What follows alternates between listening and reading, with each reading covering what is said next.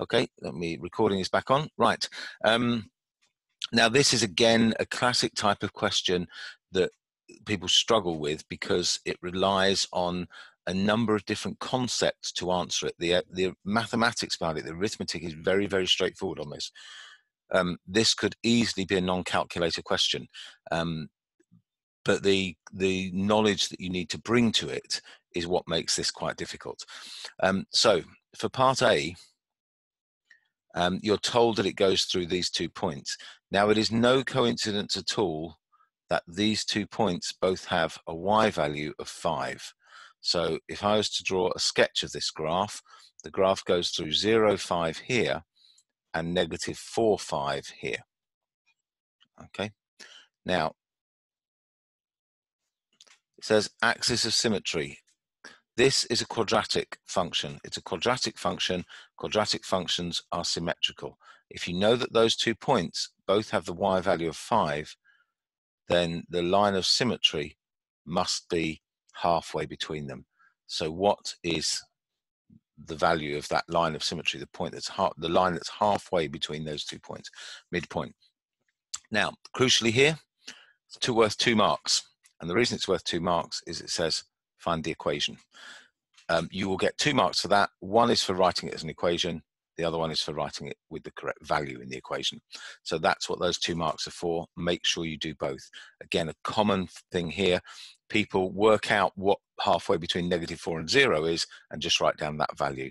It's got to be an equation. You've got to have an equal sign in it and something on the other side of the equation as well. Okay. Um, part B, uh, we talk, we're going to talk a little bit more about command terms over the coming lessons.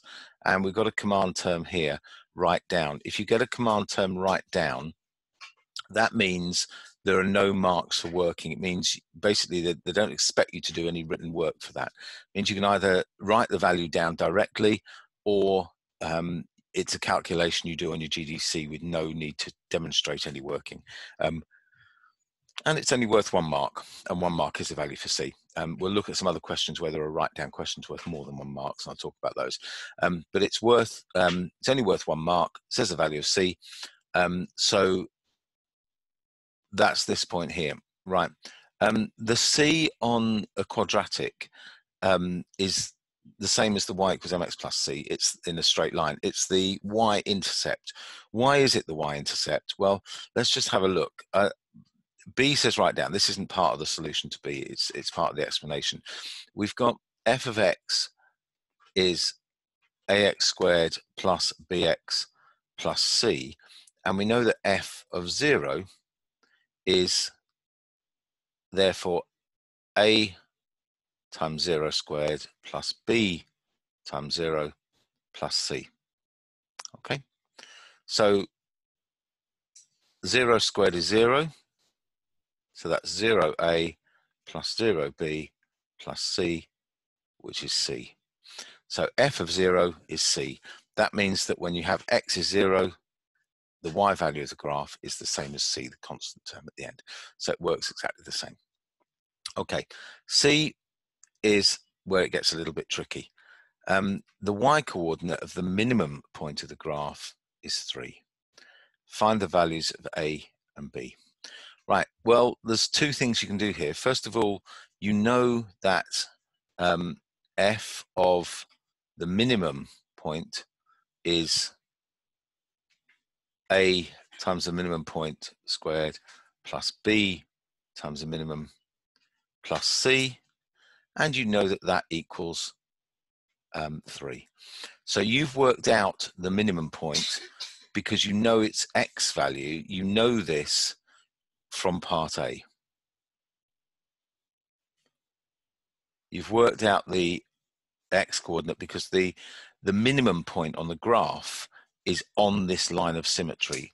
If the minimum point weren't on the line of symmetry, then it would have a reflection in the line of symmetry, which will be another minimum point. Um, so the minimum point must be on the line of symmetry because it doesn't have a mirror image.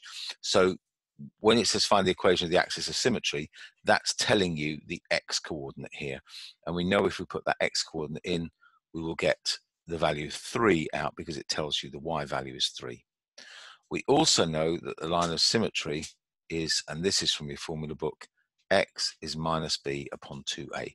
You know that as well. So this will give you an equation because you know c, you know that from question b, okay? So you know the minimum value here, the x value from part A, you know the value of c from part B. You can work out an equation using A and B with three in it. You can get another equation here using A and B with three in it because you know this from um, part A as well. This is the minimum value of x. You've therefore got two equations in A and B. You can solve those and that will give you um, your values for A and B. Um, a couple of things to say on there. It's worth three marks. One will be for the value of A, one will be for the value of B, and one will be for the method of this, doing this. A suggestion, when you get the results for A, B, and C, plot your graph. Just make sure that it goes through the point negative 4, 5, the point 0, 5, and that its minimum value is 3. If you do that, you get that reassurance that you know you've got that question right and you can relax. And uh, no, relax in the, safe in the knowledge you've got six marks. Okay. Are there um, any questions on that?